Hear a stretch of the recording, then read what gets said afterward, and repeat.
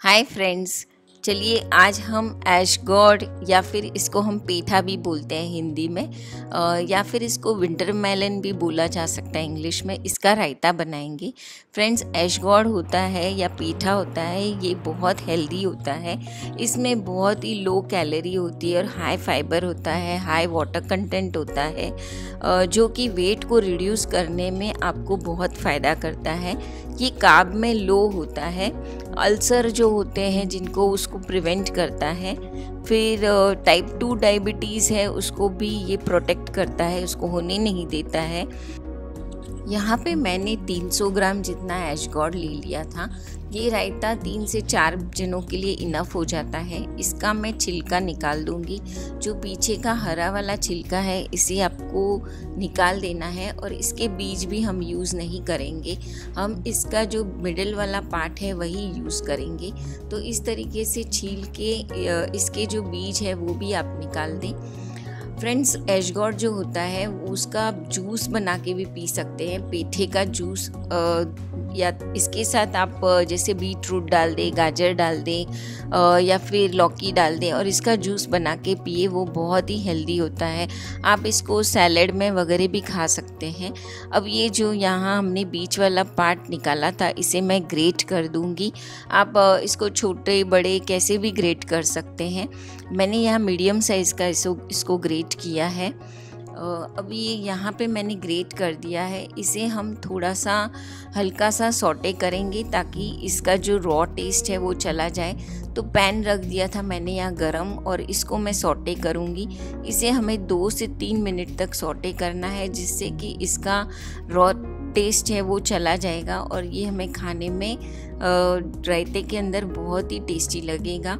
इस तरीके से रायते में डाल के आप इसे खा सकते हैं। इसका रायता यकीन मानिए बहुत टेस्टी लगता है। आप एक बार ये रेसिपी ज़रूर ट्राई कीजिएगा। अब यहाँ पे ये मैंने फ्रेश दही ले लिया है। यहाँ पे हमें दही जो है वो फ्रेश यूज़ करने का है। क्योंकि रायता जो होता है वो हमेशा फ्रेश दही का ही अच्छा लगता है।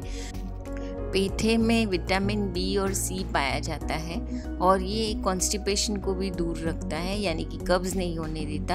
अब हम इसमें चाट मसाला और काली मिर्च ऐड कर देंगे पाउडर और थोड़ी सी शक्कर डालेंगे। शक्कर ऑप्शनल है, पर रायते में शक्कर का टेस्ट बहुत अच्छा लगता है। अब इसे हम विस्क कर देंगे और थोड़ी सी बारीक कटी हुई हरी मिर्च डाल देंगे, नमक डाल देंगे और इसे फिर से एक बार मिक्स कर देंगे। यहाँ पे मैंने ये पीनट्स होते हैं, यानी सिंगदाना होता है, मूंगफली को रोस्ट करके उसको पाउडर कर दिया था मतलब कोर्सली ग्राइंड कर दिया था, वो डाल देंगे। और ये जो पीठा है, ये जब ठंडा हो जाए तब हम इसे इसमें ऐड करेंगे। इसको इस तरीके से हाथों से फैलाकर खुला खुला कर कर ऐड करें, नहीं तो ये लम्ब्स हो जाएँगे। आप एक साथ ऐड करेंगे तो इस तरीके से हाथों से खुला खुला करके ऐड करेंगे तो इसके लच्छे जो हैं वो बने रहेंगे। अब हम इसे मिक्स कर देंगे, अच्छे से हमें इसे मिक्स करना है। और अब हम इसका तड़का बनाएँगे तो उसके लिए तड़का पैन में मैंने ऑलिव ऑयल डाल दिया एक टीस्पून। आप रेगुलर कुकिंग ऑयल भी डाल सकते हैं। और यहाँ पे थोड़ा सा जीरा और उड़द की दाल डाल दी है एक एक चम्मच के जितनी। और इसे हम हिला लेंगे अच्छे से। यहाँ पे मैंने थोड़ी राई डाली है, आधा चम्मच के जितनी, और इसे हम तड़कने देंगे।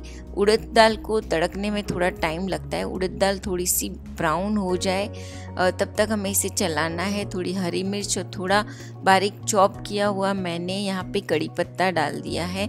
मैं हमेशा रायते में वगैरह, दाल में वगैरह कड़ी पत्ता इस तरीके से चॉप करके डालती हूँ, जिससे कि ये आसानी से हम खा सकते हैं।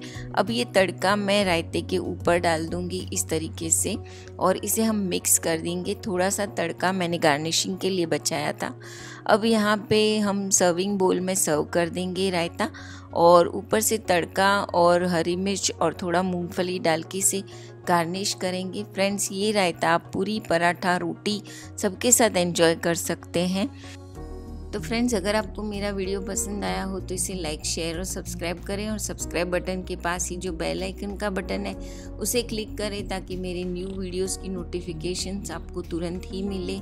अगर आप ये रेसिपी ट्राई करते हैं तो मुझे यूट्यूब में फेसबुक पे या इंस्टाग्राम पर कमेंट करके बताएँ, आपको ये रेसिपी कैसी लगी। मिलती हूँ कुछ हेल्दी न्यू रेसिपीज़ के साथ। Thank you take care goodbye